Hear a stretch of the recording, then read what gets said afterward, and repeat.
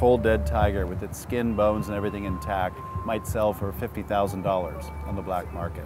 Ivory tusks on the wall or carving them into very expensive figurines, sometimes up to $300,000 for one figurine. One rhino horn might sell for $65,000 per kilo, which is more now than people are getting for cocaine.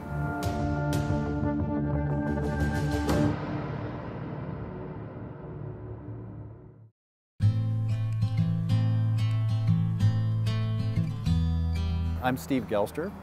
I'm an American and I run an organization called Freeland, which is a counter-trafficking organization. We're trying to protect vulnerable animals and people from trafficking syndicates. We hunt the traffickers.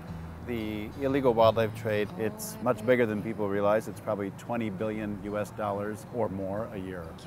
Wildlife trade is driven not fully, but largely by a belief that some of these things can help cure ailments. For example, uh, rhino horn is thought to believe that it can reduce fevers or maybe even be added to a chemotherapy treatment to help with cancer. That's very expensive aspirin. Uh, tiger bone might be used for rheumatism or maybe to increase somebody's power, maybe even sexual power. Bears are used largely for their gallbladders. People will actually milk them for certain medicines, sometimes even while the bear is alive. A large part of the trade is um, ornaments, trophies. So sticking a, a lion head on the wall. I think people can be the kindest species in the world, but when they've lost touch with nature, they become maybe the most insensitive.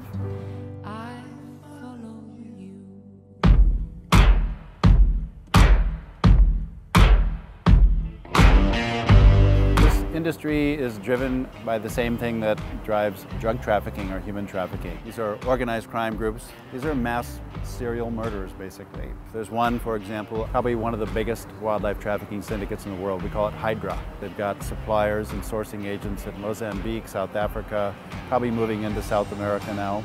They're having a very good life. I mean, because they don't have much of a conscience. We watch them and we see that they're buying lots of nice things for their families, cars, houses. This is like, it's like something out of a movie like that.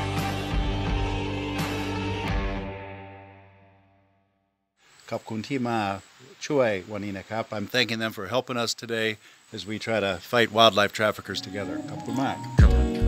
I personally and our organization, we are trying to destroy, dismantle trafficking syndicates. And we do that through training, providing information, cheerleading the good officers, getting them technology, trying to bring them up to the same level as the organized crime.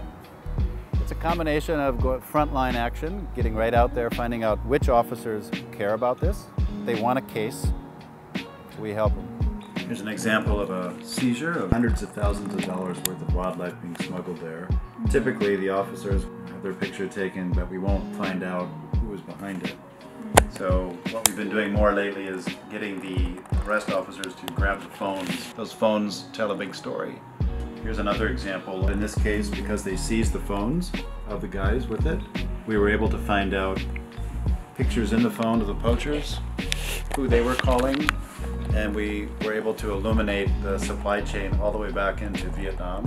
What you really want to find out is who's controlling the bank account, who's paying. We've had a couple of uh, breakthroughs like with this Hydra syndicate. We exposed the kingpin. We got him arrested. They would have never thought anybody would dare do that. And, and we're doing it. The biggest thing to remember is we're going through the fastest rate of species loss ever in history right now. 100 years ago, there were probably at least 100,000 tigers across their range in Asia. Today, we're talking about maybe 3,500. So almost a 97% reduction. Elephants, there used to be millions. Now there's just hundreds of thousands. About 10 to 12 being killed every day.